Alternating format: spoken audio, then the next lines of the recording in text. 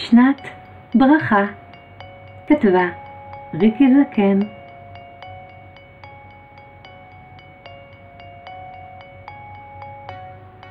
שנה חדשה, בפתח דופקת, נפתח לכבודה את הדלת.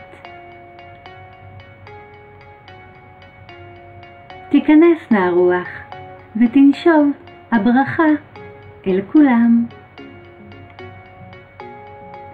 שער בשמיים נפתח לכבודך היום, שער הפתעות, שער לחלומות, שער הרחמים.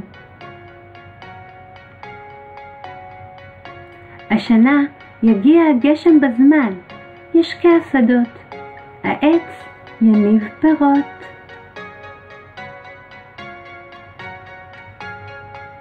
השנה ייפתחו שערי השמיים לרווחה, לשלום ובברכה, בשבילך.